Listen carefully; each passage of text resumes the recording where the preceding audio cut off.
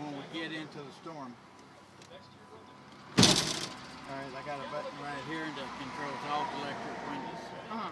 I'll drop the car down, Uh-huh. flat down on the ground. Right. All right. And you see sparks coming out from under the car because the frame is sitting on the ground. Hmm. Then I'll hit this button here and all the windows will go up Oh, simultaneously. simultaneously. This is the master control. You got individual buttons on there. I got fuses pulled out of them so people won't close their windows by accident Yeah. and cut their fingers off. There. So once I close this car and fortify it, the Reed is sitting there and he's got his seat belts on. And I got one job. Well, it's actually two jobs. Mm -hmm. One is a little red button down here. It's locator beacon. If the car gets picked up off the ground, I hit that locator beacon so they can find us.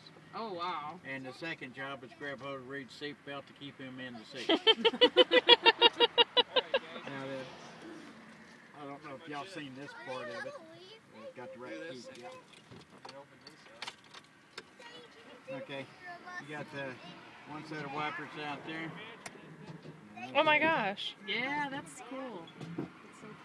That's so cool. Now people are asking why, how can I drive with all that going on? I never see them. Mhm. You get so used to them that uh, you don't even see them. You forget how to turn them off too. but uh, that's the story of that. Now when I'm driving this thing, I've got uh, my foot on the accelerator, one resting on top of the brake, one hand here and one hand sitting here. Mhm. I'm always driving with one hand because I have to control the height of the car and I have to con- control the rear flaps of the car, get pressure out back into the car. The more uh, lift I put up here, Mhm. the more weight I got to put down there. In other words, I got to raise the flaps up higher on the back end of the car. Faster I go, more flaps, more pressure on the front. So do you have to consistently raise and lower Yes. when you're like riding on the turnpike versus like Not not not just on a turnpike go. Uh, mostly when you're in rough terrain, when Right. you're in a storm hunt, and you got a lot of wind and everything, and you're on a rough highway moving up and down and everything. Then you got to control your ride height. So, but if you're moving like into a storm, the front end's gonna be lower than the back, right? Oh yes, yeah, so it's gonna be like this right here. But you can't let it go past the suspension on the car because you wouldn't have no springs, no shocks, no nothing. It's solid hit, and then you lose control of the car So how do you know when you're like too far? when the car don't respond. Oh, nice. Good answer. Uh, how do you know when you got it just right? Yeah, yeah. I'm breathing. Good answer. So uh, that's that's about the size of that. know. Yeah. It's very uh, simple, very good cut and dry operation. The driver's job is to get Reed and Chris close to the storm. Mm-hmm. The mechanical engineer, he sits right there. He controls the air cannon out there. When I get them into close to the storm, to the edge of the storm, the storm formation will be right here. And we try to get real close to it mm-hmm. so they can fire the cannon off to get the instruments up into the storm. And You then my doing job showing is me a turn cool around. stereo? Huh? You doing cool, showing me a cool stereo? Not most yet. definitely. Yeah. After the cannon is fired, we got to get out of there. Then Reed receives all the information there. Okay. And once he gets all the information, he, where'd he go?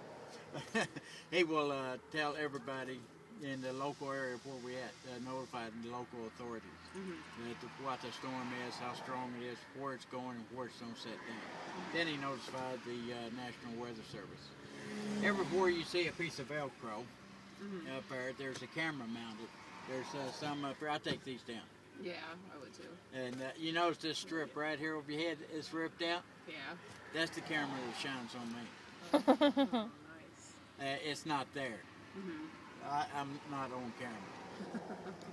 uh, but uh, this one up here, if I bump my head on it, it gets gone. But mostly I just concentrate on driving, reading them. They take care of everything else. There's even cameras mounted here. Another laptop down there. Laptop stand because computer over here, computer over there. He's got two handheld cameras. There's 12 cameras on the inside, two CB radios, two GPSs. There's uh, three power converters. There's radar, sonar. Uh, let's see.